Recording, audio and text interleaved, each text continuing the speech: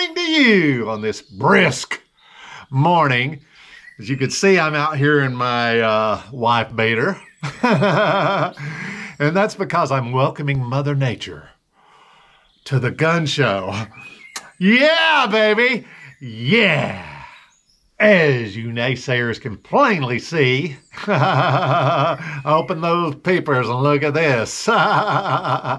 yeah, we sold our first thing of firewood.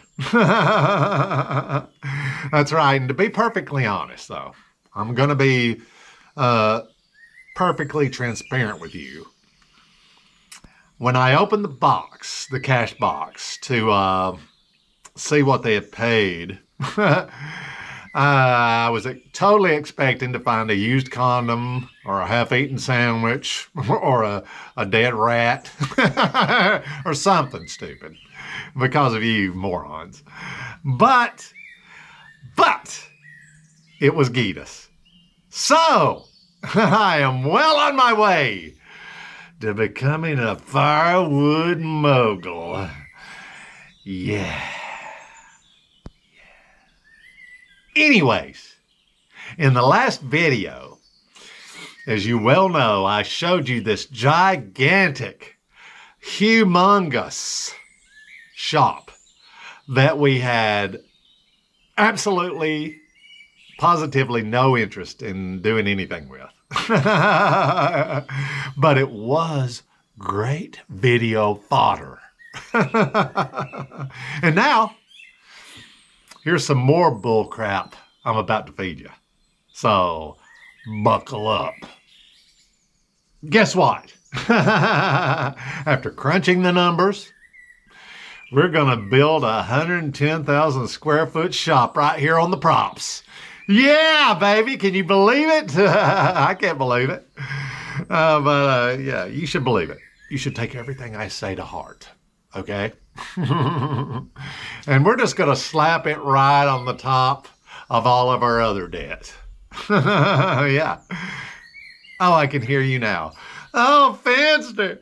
Oh, you're going to ruin yourself. You're going to bring yourself into ruins. you're going to crash and burn. Oh, you know what I have to say to that? Smash and smirm. That's all I'm saying. Sure, if I was a peon like you, a mere mortal, okay, I would be worried, okay? But I am a financial powerhouse, baby. Yeah, yeah. You got to have a little more faith in me, folks. you got uh, this guy have a little gumption. you got to do things smartly, not dumbly. Okay? you got to go for the gusto, swing for the fence. That's right. And uh, you got to have a backup plan. I always have a backup plan. And my backup plan is I will dump DQ and the GIMP and the kids. I will run off to Europe and become a male model. as simple as that.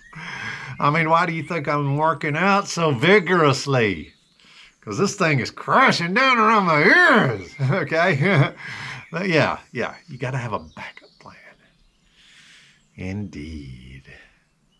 Okay, here is a photo that I'm showing you just to prove to you that someone did buy the wood, that I didn't just carry it off myself. You're so untrusting. So here's the photo. Hope you like it. Suck it. Okay, bottom line here, folks. We're taking these cruddy old woods here. Which, let's face it, it's just a bunch of ugly old trees. We're converting it into something glorious, beautiful. yeah, people are going to come from miles around just to view this place. I mean, they already do. They love coming by and looking at the wood, the uh, wood shed here and my gate. but just imagine when I build the shop. In fact, I had a dream, a reoccurring dream, where this man would say, if you build it, they will come all over the place. So, that's what I'm doing. And it's going to be like an amusement park. You know, it's going to be a, uh, I'm going to charge admission to just come in and look at the shop. It's going to be like the Neverland Ranch of Ohio. but that's uh, for future videos. Uh, uh, also, in the future, in the next video, I'm going to show you DQ for your viewing pleasure, and she will be putting together racks in fast motion for you. I'm sure it will be glorious and you'll love it. so, till next time, keep moving. Keep grooving. Keep pimping. and I'll keep on showing you DQ's robust rump.